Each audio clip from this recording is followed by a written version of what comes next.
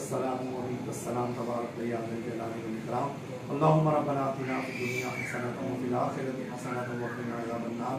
وادخلنا الجنة مع الأبرار يا عزيز يا غفار يا رب العالمين یا اللہ، یا رحمان، یا رحیم. یا اللہ، ہم نے یہاں پر عمرہ ادائیگی کے لیے جو تربیت رکھی، جو تربیت کی، اے اللہ، اس میں اگر کوئی غلطی کوتاہی ہو تو ہمیں معاف فرما۔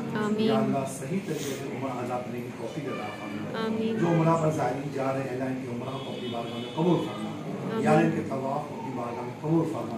ان کی صحیح کو اپنی بارگاہ میں قبول فرما پاک اور مدینہ پاک کی عبادات اپنی بارگاہ میں قبول فرما۔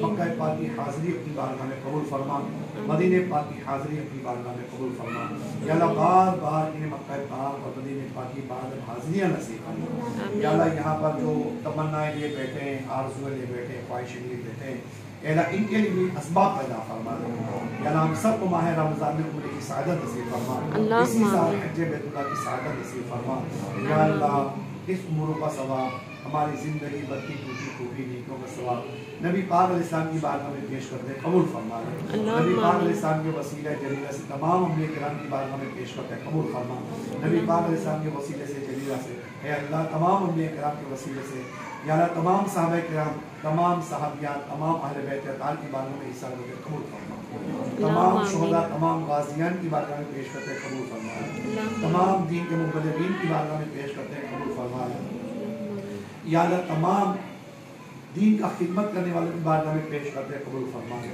اللہ، ہم سب اپنے اپنے مرحومین کو اصال کرتے ہیں، قبول فرما ہمارے والدین کی بارگاہ میں اصال کرتے ہیں، قبول فرما ہمارے والدین کو جنت الفردوس میں اعلیٰ مقام عطا فرما یا اللہ، ولید کلر کی روح کو اصال کرتے ہیں، قبول فرما یا اللہ شہزادی کے درجات کو بلندی عطا فرما ان کی قبر میں اپنی خصوصی رحمتوں کا نزول فرما اپنی خصوصی برکاتوں کا نزول فرما ہمارے والدین کی قبروں پر بھی اپنی خصوصی رحمتوں کا نزول فرما خصوصی برکاتوں کا نزول فرما، ان کے درجات کو بلندی عطا فرما، یا اللہ، جن کے والدین حیات ہیں، انہیں درازی عمر بالخیر عطا فرما۔